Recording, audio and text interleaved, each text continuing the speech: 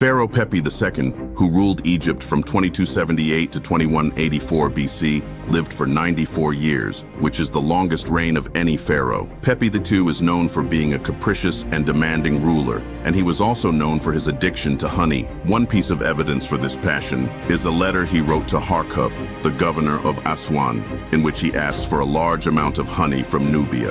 Pepi II preferred Nubian honey over Egyptian honey and his addiction led to some strange whims, including his request that his slaves be covered in honey to repel flies. By the end of Pepi II's reign, Egypt was facing a number of challenges, including an economic crisis and political conflicts.